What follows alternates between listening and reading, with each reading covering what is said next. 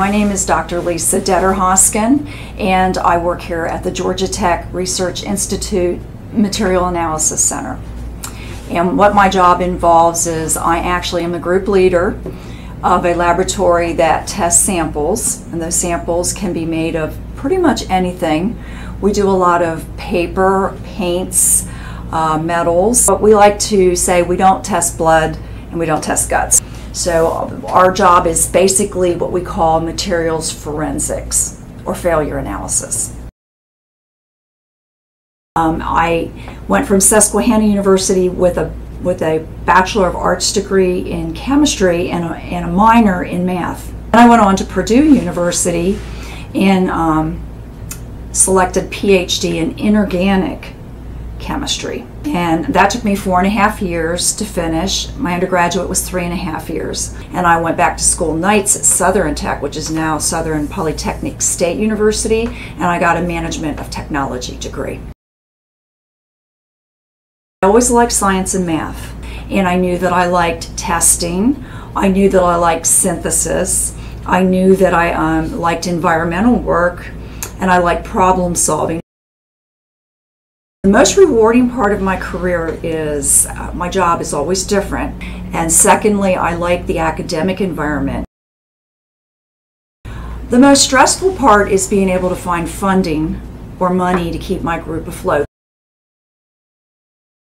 A typical day can be very varied when you do forensics work. You may get a call at 4 o'clock in the morning that there's been a train wreck in South Carolina, I need to pack my bags and take my testing kit. I go in and collect samples and document the forensics part of which we call field testing.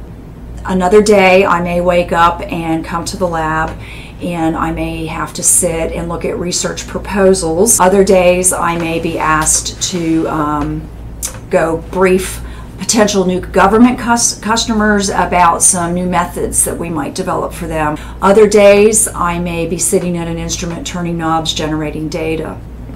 Another day, I may have students come through and I would give an educational tour. Um, other days, I might be asked to guest lecture over at Georgia Tech. If you have a bachelor's degree, you'll probably start out around $45,000. Um, after about 10 years experience, you'll probably go to 65. If you come out with a master's degree, you'll probably start about 65, and in 10 years, you'll probably be at about 85. If you come in with a PhD, you'll probably start about 65 to 80, and in 10 years, you can be making about 115, 120,000. But once you get a lot of expertise, you can become what's classified as an expert and you can begin to work on expert legal cases. And when you do that, you can substantiate your salary another $100,000 a year if you want to. There is room to rise in the ranks, and you have it. You have a, a, a two prong way of doing that. You can rise in the research rung. You start in as a technician, or a um, junior scientist, and then you can move to senior scientist up to principal. And I'm a principal research scientist. From there, you go to chief scientist, and then you would go to a director status. Um, if you want to go in the management side, then there's a management rung that you can move up as well. We took all the math we could take. We took physics, um, you need to take biology and you need to take all the chemistry and if you can get the opportunity to do some statistics that's also very good. And um, i would also recommend a language. German and latin um, is, are perhaps the most helpful. I believe that forensics has changed. The equipment has become more sophisticated. Forensics has become much more statistical and much more standardized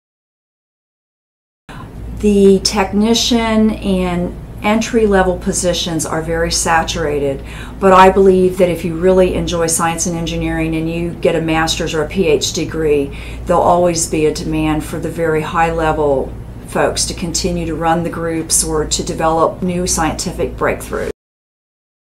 Do what you love don't do what your parents or your grandparents want you to do. Um, understand that when you go to school, you never have to have all the answers figured out when you're 18.